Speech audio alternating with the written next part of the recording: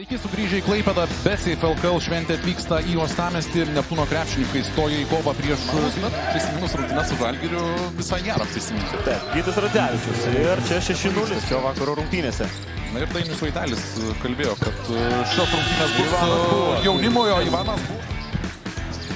Koks papildomas perdavimas, kuris baigėsi dėjimu. Jeigu gerai pamenu, būtent ir vyks trečiosios serijos rungtynės. Čia greita ataka, o Marčiulionis, Vitorius Mindaugo taurės agonijos iš kito pusės ledai pajudėjo. Čia valdo Šaulys, pelno du taškus. Vyksta pasižymėti ir dar kartą O. pe- perima kamuolį valdo šaulės. O. Ir pasismagina čia iš e, Neptūno ekipos. Ataka tęsiasi dvi sekundės priverstinis. Jau Racevičiaus metimas, du taškai. Pavyks. Aišku, tos e, apdainuotos klaidos 16 iš Neptūno pusės Evaldas Šaulys. e, Rungtynių pusėje pažiūrėsime, ar pavyks a, išspręsti jas antroje O. rungtynių dalyje. Čia Mindaugas Girdžiūnas. Vienintelis Viskas įsibėgėjo. Ivanas buvo.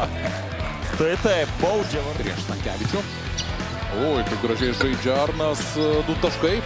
Dar viena ilgai užsitęsusi Ugatikų žaidžia dviese. Čia Žygimantas Janavičius ir turbūt galima sakyti puikiai atlikti namų darbai. Užtvara atmestas kamuolys Bučkevičiui. Oi, kaip žaidžia Butkevičius nuo lentos, du taškai. Iš Malmako. Gaudalopas. Dar kartą, dar kartą taikliai.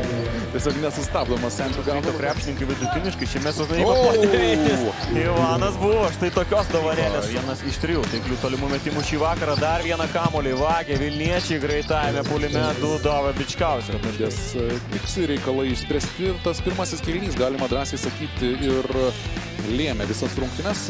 Neptūnui pavyko priartėti prie varžovų, bet kai reikėjo, sostinės komanda vėl įjungė, kaip sakoma, tą aukštesnąją pavarą ir e, nurūko link 11 pergalės iš eilės. Bet...